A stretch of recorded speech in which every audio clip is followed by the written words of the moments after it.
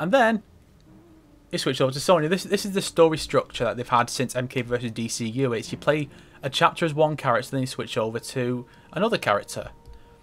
Jax. I think I'm ending this in my Dead or Alive 5 Let's Play, because that Jax, did a similar thing. Except with, with Dead or Alive, it was like it jumps around the timeline. So, a- so a character doesn't dominate for a set number of matches in a row. Whereas here, that's how it works. Johnny just won four fights in a row. And spoiler alert, he never wins another fight again. Ever. Johnny Cage becomes a complete jobber in this after that amazing display. But like, what? Like, this, this is another thing. It's like suddenly Sonya's story is all about Jax Not part of your tournament. instead of the other way around. contrary, you are very much a contestant. Like instead of just coming in after, after Kano, Sonya's here to Lin Kuei clan of deal with to find and save Jax. They got Sub Zero here with his ice teleport because that makes a lot of sense. Now you will feel death's cold embrace. And this is the weird thing about about this. One of the weird things about this game is that it's another retcon they've come up with, where Sub Zero all of a sudden is working for Shang Tsung. Because you know, apparently apparently now he's been hired, but he's been hired uh, to to fight for Shang Tsung. was originally the whole idea was he'd been um, he'd, he'd actually been hired to um, assassinate Shang Tsung. Not anymore though, because MK loves its retcons. There is actually a mechanic using the super gauge where you can like do an enhanced version of, of uh, your special moves, but I never got the hang of that. Oh shit, he, can do his X-ray on me. But yeah, so so, so Sub-Zero, Sub-Zero's always kind of been in this weird situation in, in the series where originally he was kind of a, a, a hero by default on account of the fact that he was trying to kill Shang Tsung. And so, as a result, Scorpion was by default a villain, even though neither character was in any way related to the main events going on. Sonya wins. You know? Done. We're leaving. Stand in my way and I'll kick your A challenge? No, No. you will not be the one to challenge Shang Tsung. You I- want some too? Fine by me. Okay. Round one. That's, the, that's another problem with it, with it is that the whole Raiden's plan in the future is let's send these visions to myself, and then past Raiden has no idea what these visions mean. He has a general idea that something that, that there's a reason he's got these visions, but then I just have to raise the question of why does Raiden, the lesser god of thunder, have these have these incredible powers? You know, he's he's um got some amazing temporal power that's never been mentioned before. There we go. Finally.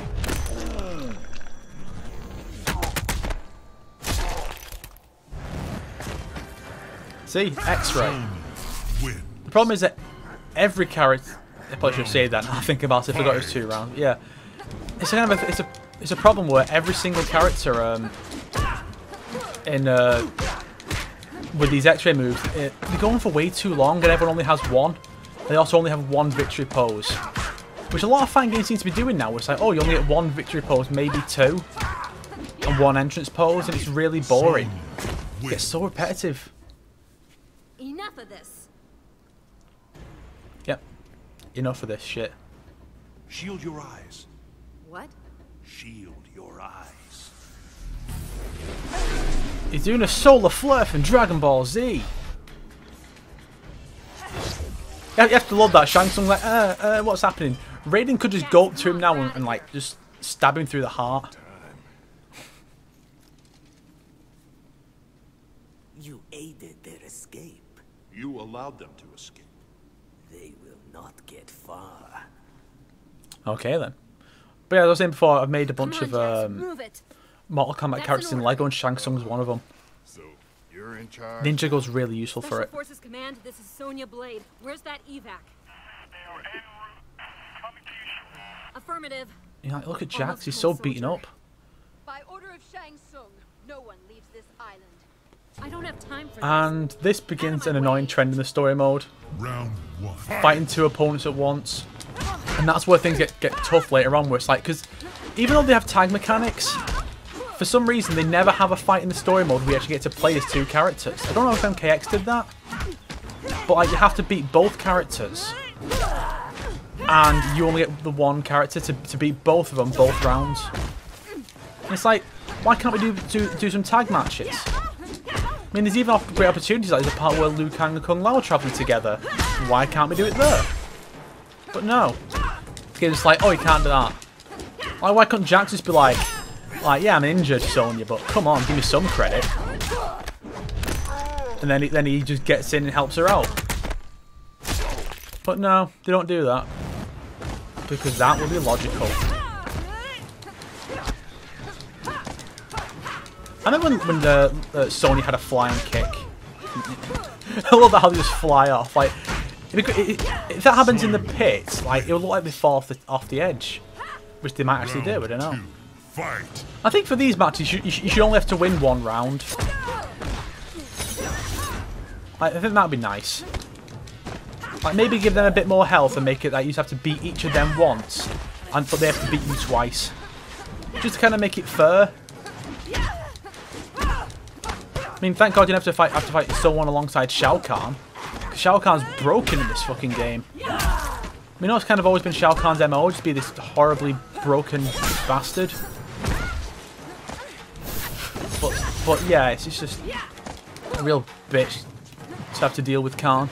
Because I see, I get, I get the idea that fighting game bosses were made to be really hard to make people pay more money.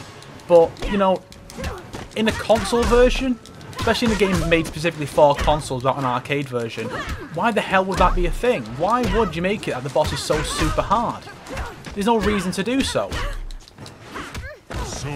Because it's not like you gain ex any extra money out of it. Sure don't need any more surprises like them. No, it's not for the developer's benefit. It's not for the player's benefit. There's no point doing it. Liar. I'm not saying this should be super easy. After I This shouldn't be get you base, I'm broken. Kano's still here somewhere.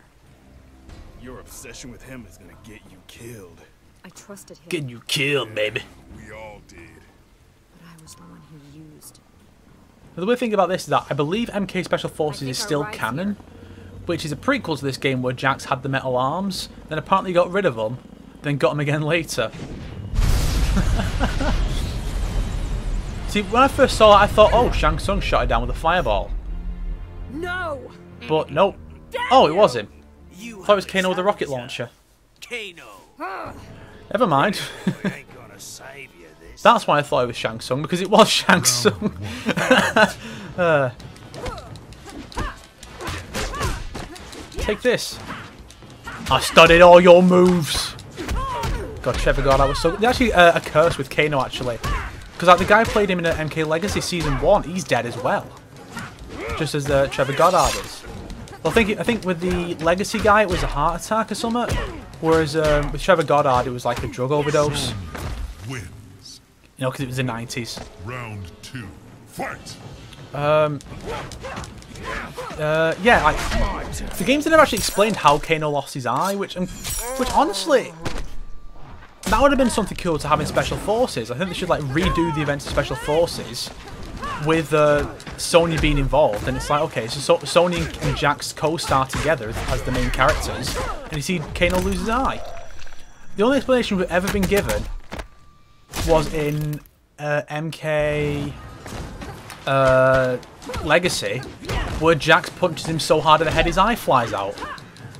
And and then you have actress Jeri Ryan who played Sonya being like, oh yeah, it's more it's more gritty in real world, and it's like a guy a man gets his eye punched out, not not punched so fiercely repeatedly like his eye's fucked up You're and has to be removed. He just gets hit and the eye flies out like a fucking cartoon. Kano is not your prisoner. At least help Jax. He needs a medic. And another retcon here is like that Kano was just working for Shang Tsung. Even though he wasn't supposed to start working for Outworld until after MK3. When he saw an opportunity to get higher up with, Sh- with Shao Hey, looks like you found him. What's up, Sarge? He's a. Hey, what are you doing? Yeah, that, that's a major concern. Not the fact he's been a dick, it's the fact that he's a major. Jax.